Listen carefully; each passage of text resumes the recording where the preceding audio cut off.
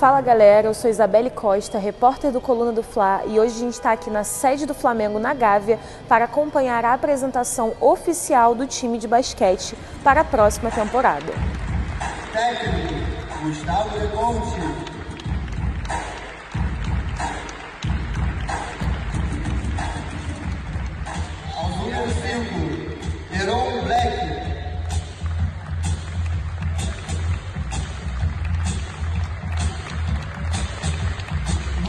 Número 6, Franco Baldi.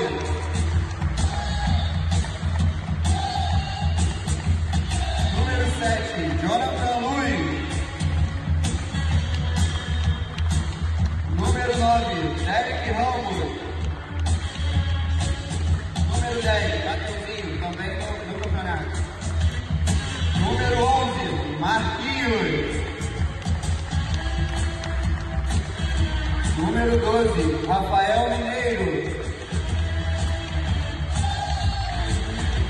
Número 16, Olivinha.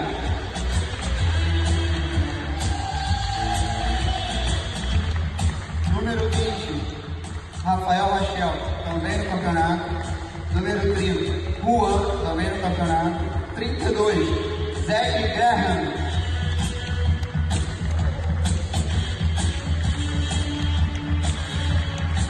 Número 71, Léo.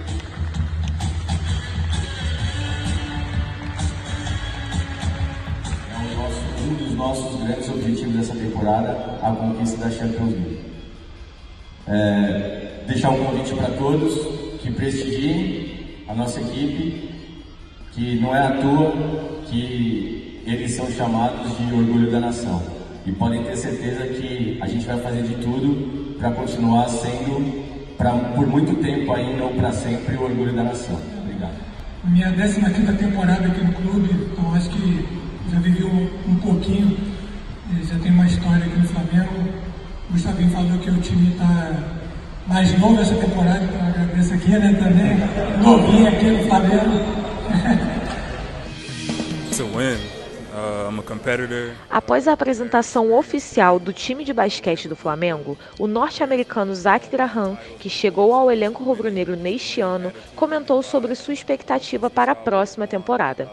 Zach disse que espera ganhar, pois é um competidor, e que o time do Flamengo possui muitos jogadores experientes e que já conquistaram títulos anteriormente.